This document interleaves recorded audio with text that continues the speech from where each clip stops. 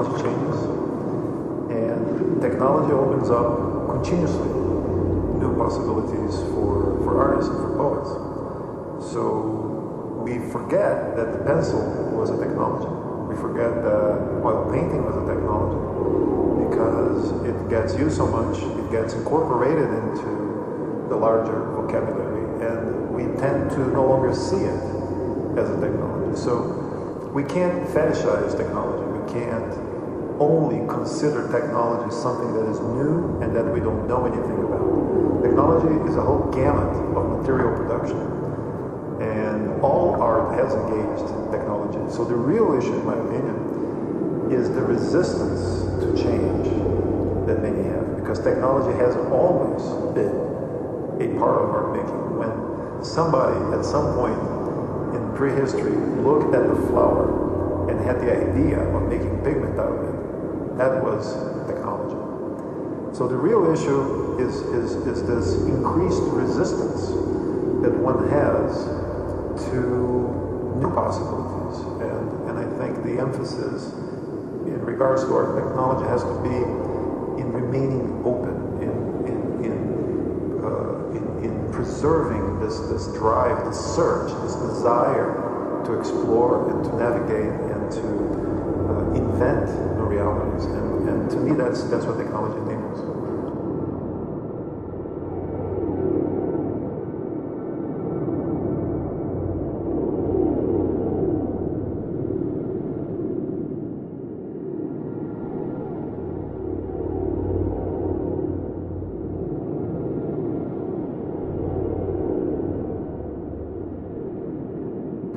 To me, nature basically means the laws of physics.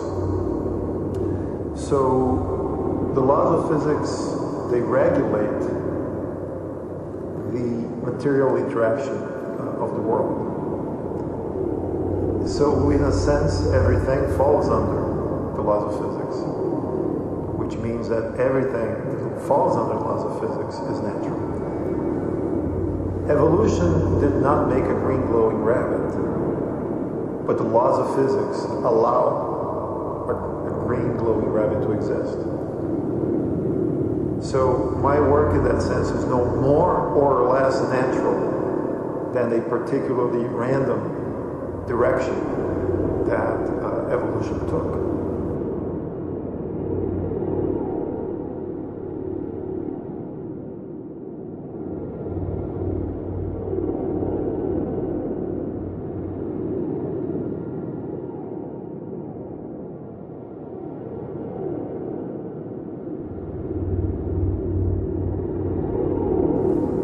First of all, uh, I think it's important to, to clarify what I mean by communication. Communication for me is not an act of transmission of information.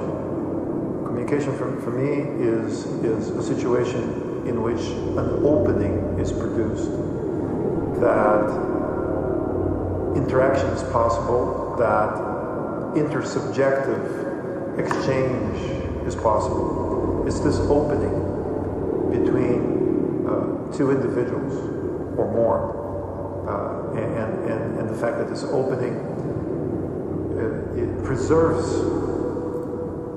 a, a sense of responsibility that is not only mutually, but also in the relationship, but also in the sense of response. In other words, it's not an opening that flows in one direction only.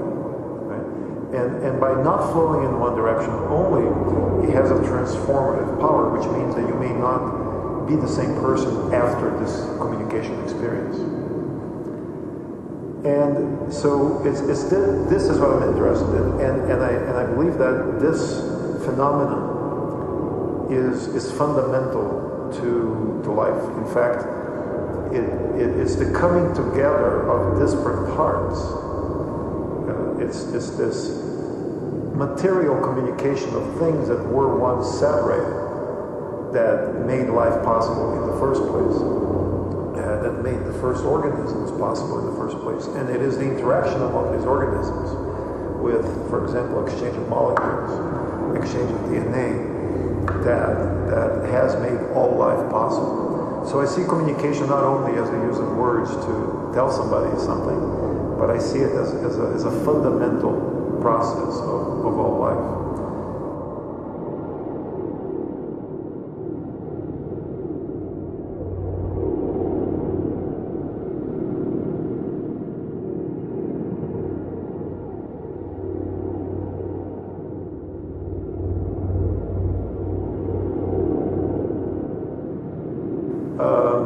Think, think of, a, of a, a, an olfactory experience when the molecule enters your nostril and, and, and attaches itself to receptors on the back of your nose. Um, well, that's pretty much the end of the journey of that molecule. But upon contact with the receptors, uh, a reaction is triggered that produces an electrochemical uh, reaction which in the brain produces a sensation. So you have the thing in the world, you have a molecule that detaches itself from it, you have the contact between two things, the molecule and your body, you have the translation or the chain reaction of that molecule into something else, this electrochemical reaction, and then you have a sensation that you say, well, I smell something. Well, what is this? Is this translation? What is this phenomenon? This happens all the time. Uh, everything gets transformed into something else. Right? My words right now are not entering anyone's minds uh, in the same manner that I utter them. Everything is con- continuously transformed. And this is why I said at the beginning of our conversation that change is the only constant.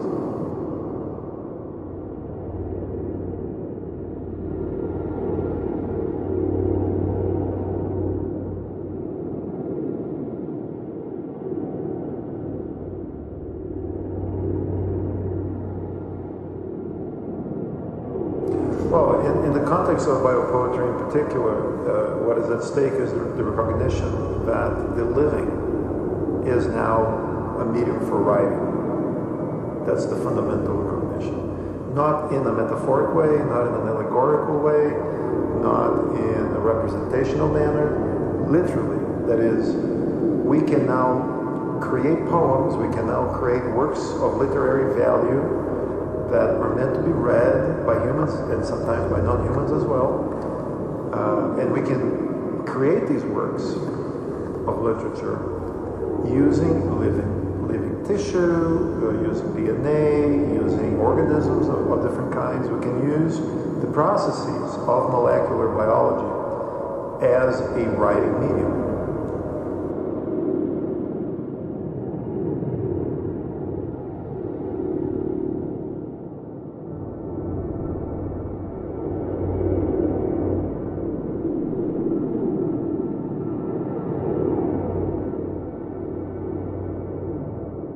Well, the lagoglyphs aren't a response to the early days, meaning, say, between 2000 and 2010. For about 10 years, people remained very worried. And then suddenly they weren't anymore.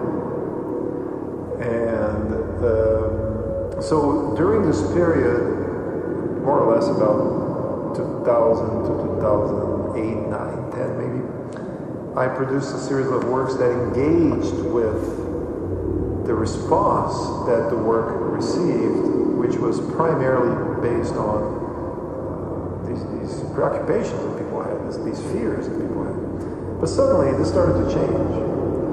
And, and then you see writers such as Michael Crichton, who wrote Jurassic Park, or Margaret Atwood, who wrote Oryx and Crake, you see writers like that incorporating the bunny in their novels.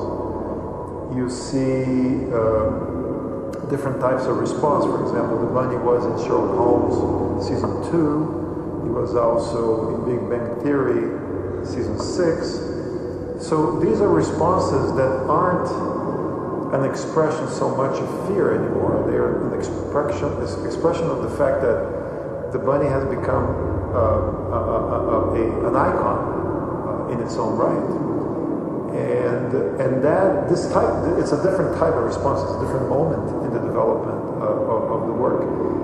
And um, that is so but but but the amount of writing and, and response continues to grow. So the lagoglyphs are more a response to this new phase the second phase in which the body is no longer say an object of concern but uh, but rather a conduit to, uh, to different insights. And, and it's also a reaction to the fact that a huge amount of discourse has been produced. So I thought that it would, it would be interesting for the bunny to respond, even though she's no longer alive, even though this response is vicarious, but it would be interesting for the bunny to produce this visual language that was rabbit-like. And, and the lagoglyphs are, are um, there are a series of works that are based on that.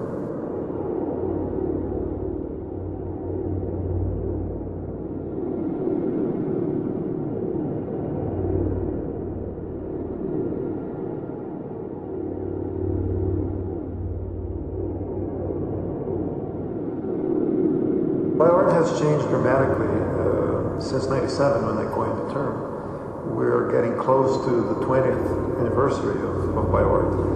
And uh, in the beginning, we were about a handful of artists working in this area. Now you have countless uh, books and symposia and dissertations and exhibitions. It, it's, a, it's, a, it's a developed uh, field that continuously expands which means that there is room for all kinds of approaches.